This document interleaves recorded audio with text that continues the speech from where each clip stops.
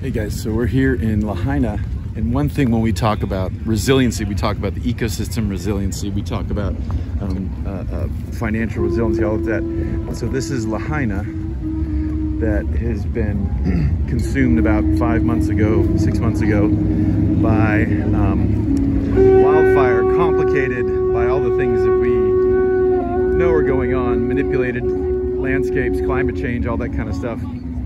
But what we're seeing right here is an example of the community being resilient, the community trying to heal themselves, trying to heal the anger that has been generated and worry about conspiracy theories and, and, and, and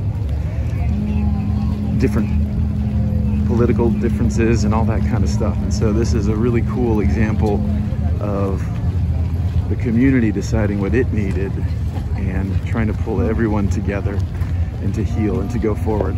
So right over here, we just had the very first, we just had the very first um, private property um, be cleared of debris from the fire so we can begin the, the physical rebuilding.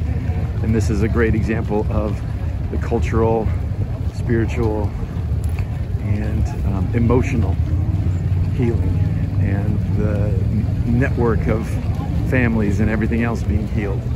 So this is an, an equally important part of the recovery process post-disaster. This is a really important thing that, that um, you must do if you hope to get back to what you had before or something better.